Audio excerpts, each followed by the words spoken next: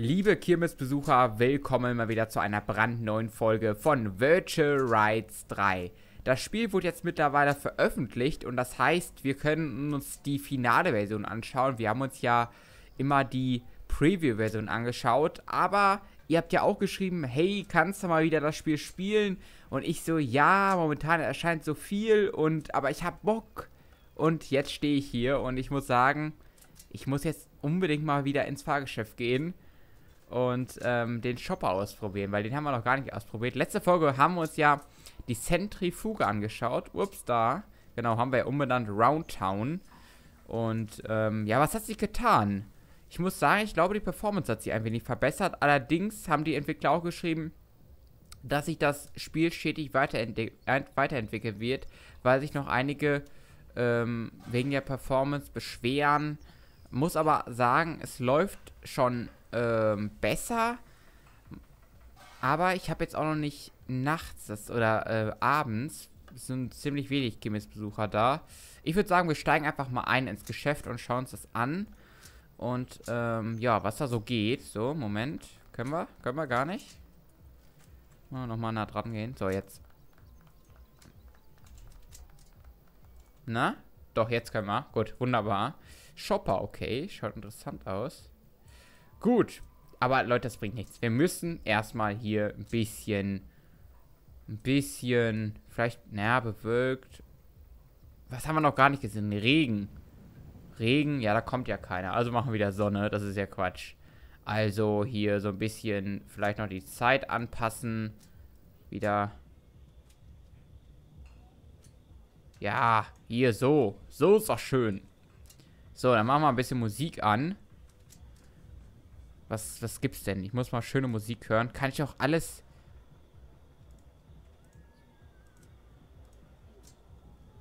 Kann ich irgendwie auch alles so... Nee. Ah.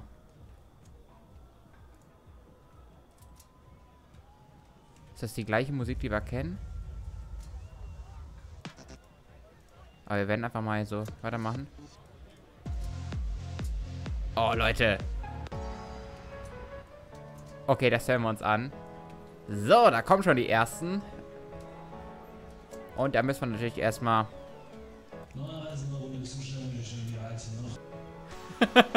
geil. Ich freue mich jetzt schon wieder. Das ist so geil, wirklich. So. Dann würde ich sagen, gehen wir mal auf Kamera. Was gibt es hier für Kameraperspektiven? Die, okay. Okay.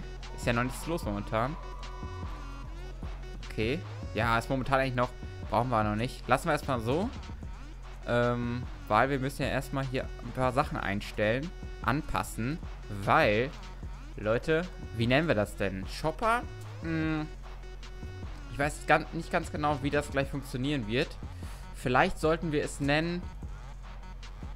Ähm...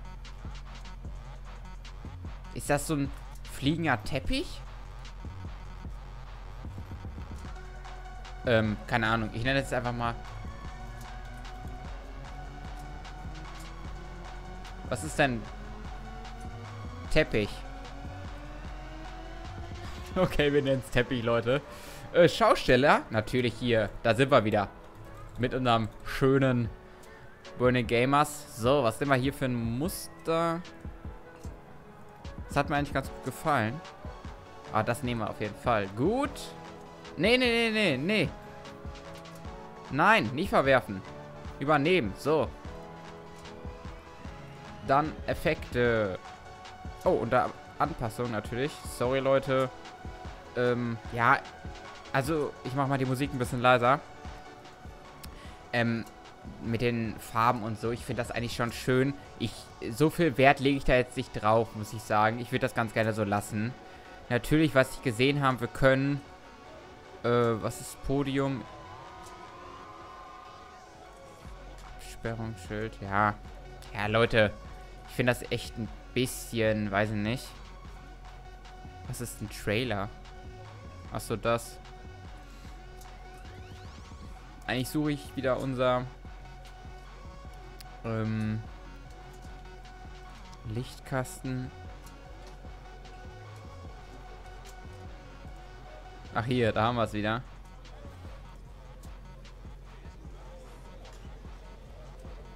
Können wir dran machen, wenn ihr wollt.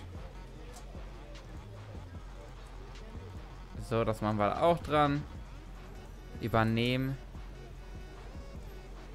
Und das können wir dann hier unter Effekte auswählen. Guck. Wunderbar, so muss das nämlich sein. Licht. Leute, ganz ehrlich, das, das lassen wir so. Das lassen wir so. Auf jeden Fall. So, was ist jetzt hier los? Hier wird's echt nicht voll. Was ist hier los? Hier wird's gar nicht voll. Ich glaube, das ist nicht so beliebt, das Geschäft. Wie viele haben wir denn eigentlich? 20 Uhr? 3? Ist eigentlich perfekte Uhrzeit, oder? Naja. Okay. Dann würde ich sagen, starten wir. So. Die Bügel erstmal schließen. So, und dann müssen wir natürlich erstmal eine Kamera wechseln, bevor wir jetzt anfangen. Leute, ich würde sagen, on right. Ah, wir nehmen das hier. Ist ja echt, ist ja nichts los. Nein, machen wir erst eine Sonderfahrt. So. Äh. Weg mit dem Gedöns hier. Und dann können wir eigentlich... Habe ich das nicht gemacht? Mittelaufbau? Habe ich das jetzt gerade hochgefahren?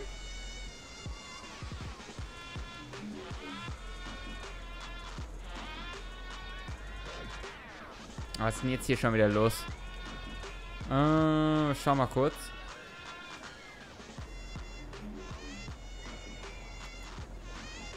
Äh, ah, dann hatte ich das doch gerade richtig. Es dauert einfach ein bisschen.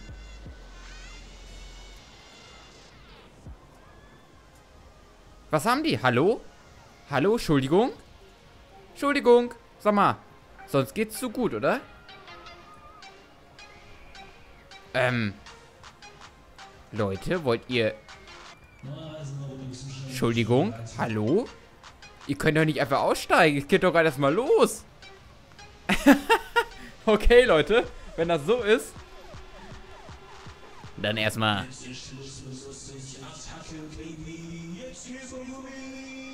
Ich glaub's nicht, ey. Keiner will mit dem schönen Teppich fahren. Naja.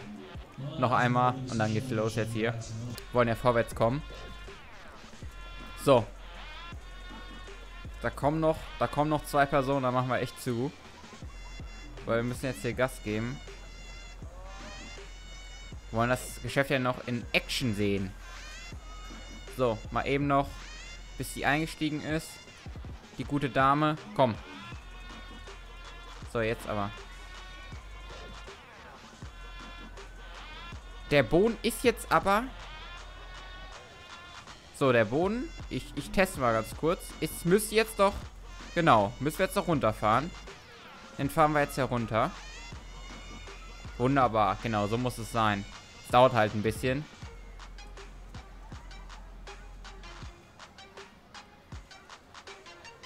Aber ist echt schon cool, ne? Schaut euch das mal an. Wir können eigentlich mal in die Kameraperspektive technisch gehen. Das ist technisch? Ach so. Okay. Da dachte ich, es wäre was anderes, aber egal. Jetzt könnten wir, glaube ich. On right. Und dann könnten wir jetzt eigentlich starten.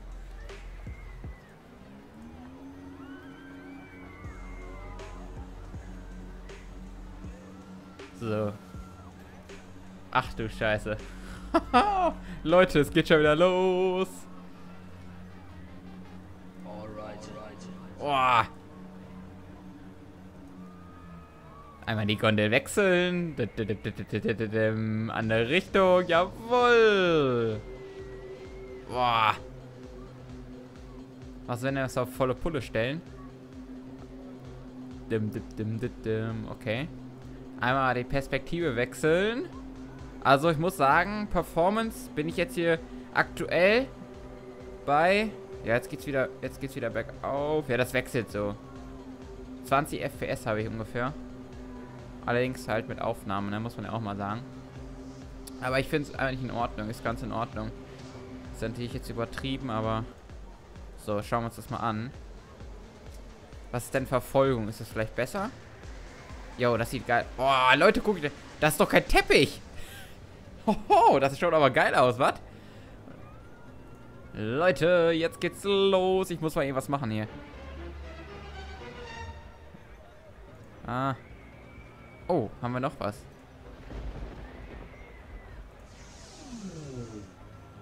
Und jetzt natürlich ganz wichtig, machen wir ein bisschen Nebel.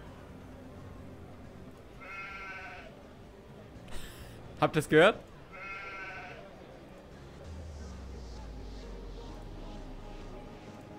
Okay, wir machen doch ein bisschen lauter Musik.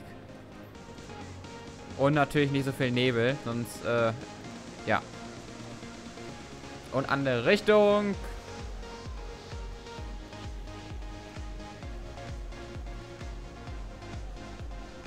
So, Leute. Jetzt, warte, warte, warte. Jetzt ist Schluss, muss lustig, Attacke, Baby. Jetzt geht's um Jetzt geht's los. Leute, bitte festhalten. Das müsst ihr ja nicht sagen, ne? Bitte festhalten, jetzt geht's nochmal richtig los. Vielleicht noch ein bisschen härter das Echo. Kennt ihr das? Jetzt pass auf. Bitte nicht da oben spucken. Letzte Verwarnung, sonst landen wir.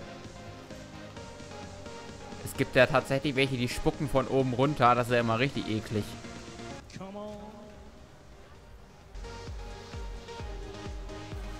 Boah, das schaut echt Hammer aus, ne? Jetzt mal ohne Witz. Schaut schon sehr gut aus. Machen wir einmal gegen. Boah. Also das Karussell, ich kenne das so auch überhaupt nicht.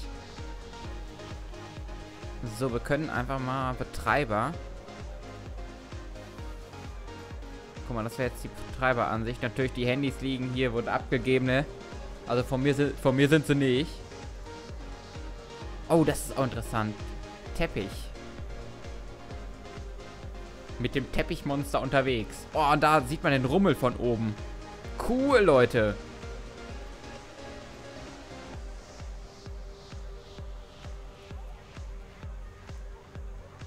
Genau, ich wollte mal schauen. Und zwar können wir eigentlich mal dieses Gerät kurz verlassen. Ähm, bis wir erstmal...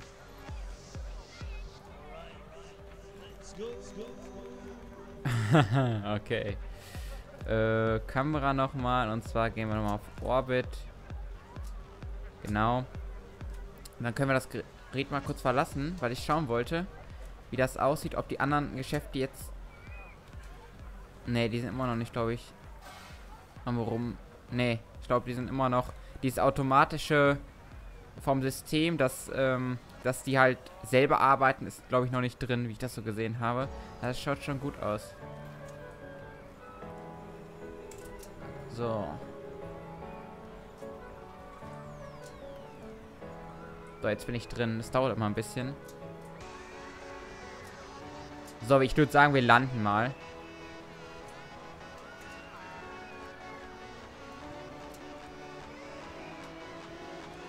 Okidoki, achsen wir euch bereit. Bitte Vorsicht an der Bahn, wir landen in neuer Reise.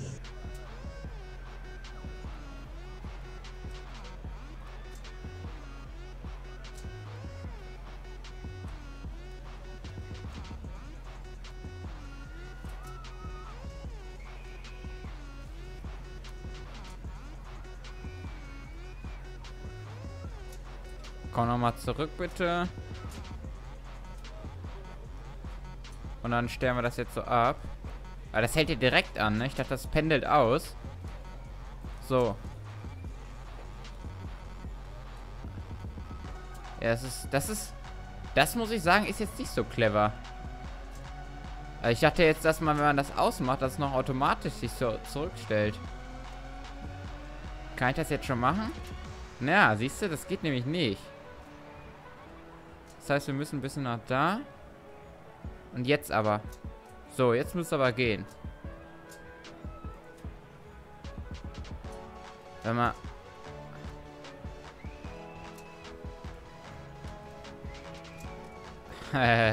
ja, das ist natürlich jetzt lustig, weil das Ding ist einfach mal...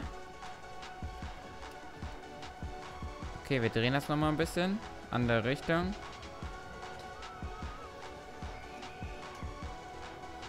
Das ist natürlich jetzt nicht so, finde ich, so gut. Äh, was ist für die jetzt Ausgangsposition? Das ist ja keine Ausgangsposition. Der A muss in seiner Ausgangsposition sein. Okay. So, geh mal.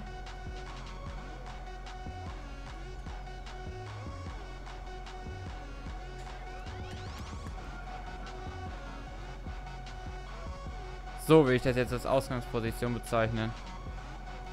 Ja, ist eine Ausgangsposition. Wunderbar, Leute. Das klappt.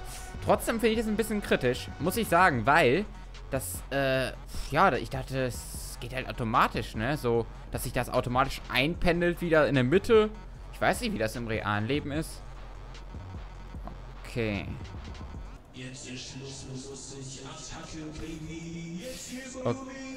Okay, ich würde sagen, sind die schon ausgestiegen?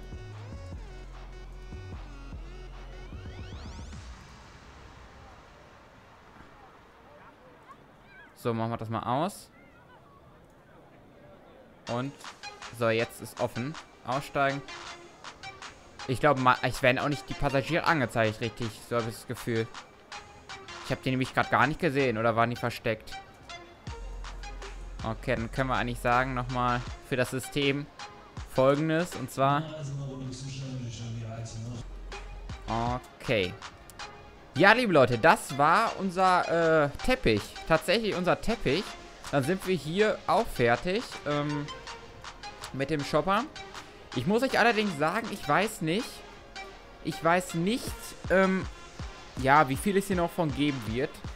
Weil, ähm, ich habe ja schon mal das erzählt mit der Langzeitmotivation. Ähm, Natürlich kann man diese Anbauteile anbauen, allerdings... Oh, wir machen mal kurz die Musik ein bisschen leiser, weil ich möchte, dass das mir noch wichtig, dass, ich, dass ihr das wisst. Äh, äh, äh. Einmal bitte. Hallo? Hallo? Entschuldigung.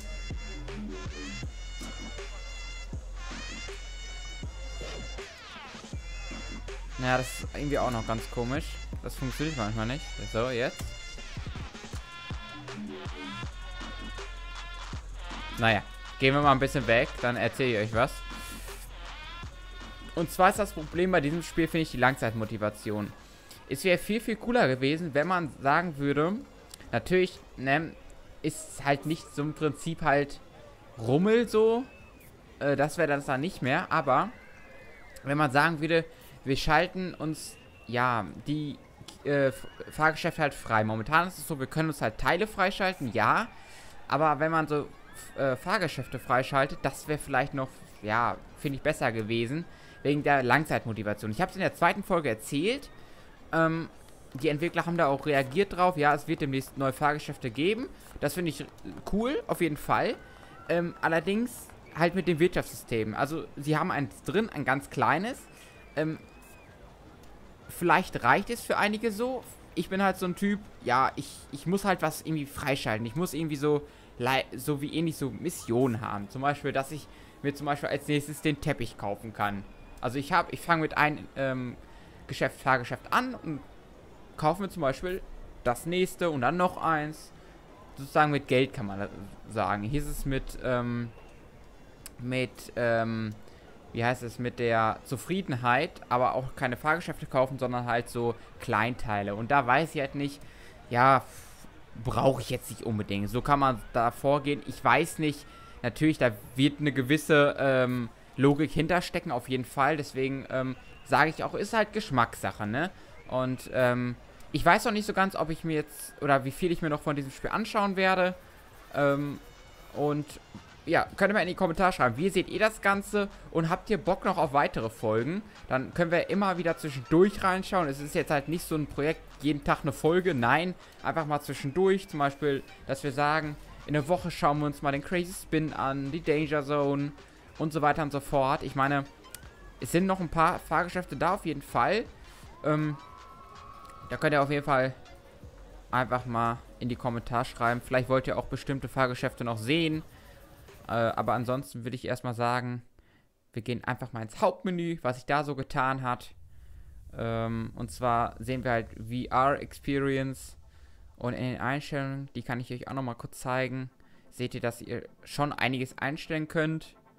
Ähm, das ist schon ziemlich gut eingestellt, alles nicht auf richtig krass, ne? Auf jeden Fall. Ähm, Ton sieht so aus bei mir. Die Besuchermenge können wir übrigens auch einstellen. Die ist momentan auf hoch. Das wäre vielleicht auch nochmal so ein Ding, so ein Performance-Fress. Das ist wahrscheinlich, wenn wir so viele Besucher haben. Könnte man vielleicht noch umstellen. Mal schauen.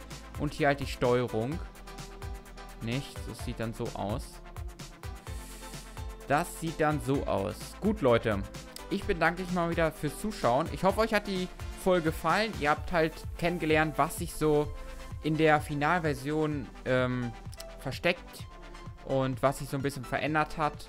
Und ich meine, so viel hat sich jetzt nicht verändert. Vielleicht ein bisschen an der Performance, aber ähm, ansonsten ist das Spielprinzip und so weiter gleich geblieben.